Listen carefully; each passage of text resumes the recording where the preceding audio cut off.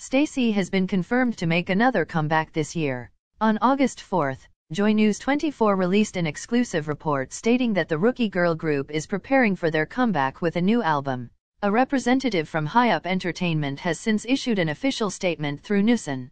STAYC to make another comeback this year, has completed music video filming according to Joy News 24. STAYC is already in the final stages of preparations for their new album, which is set to be released in early September. An official from STAYC's label High Up Entertainment then told Newsen that the rookie group is indeed getting ready for a comeback.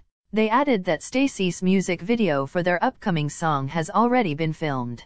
However, the official concluded that STAYC's comeback date is yet to be finalized. One netizen spotted STAYC filming their MV Hey Raise the photos. Disclaimer, the information and photos I got is not mine credit to the rightful owners.